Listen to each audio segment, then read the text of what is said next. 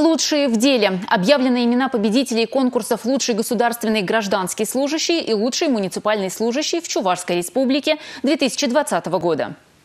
Такие конкурсы делают чиновников профессиональнее. Ежегодно участники представляют свои проекты, связанные с улучшением качества работы органов госвласти. Новый взгляд на привычные вещи, свежие идеи и предложения обретают конкретную форму. Так, Олеся Ефремова, заведующий сектором развития малых форм хозяйствования Министерства сельского хозяйства, оптимизировала механизм реализации грантовой поддержки фермеров, владельцев личных подворий с помощью цифровых технологий и стала победителем.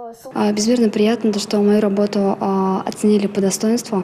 А, это непременно вдохновляет. Хочется, чтобы государственную поддержку сельхозтоваропроизводители получили быстрее, доступнее и проще. Для этого как раз-таки мы разрабатываем электронную платформу личный кабинет сельхозтоваропроизводителя. Лучшим муниципальным служащим стала Ольга Тумаланова, начальник управления муниципального контроля администрации столицы. Конкурсы служат хорошей площадкой для формирования кадрового резерва на государственную службу. Ульяна Пятакова, Маргарита Мельникова, Николай Скворцов, Республика.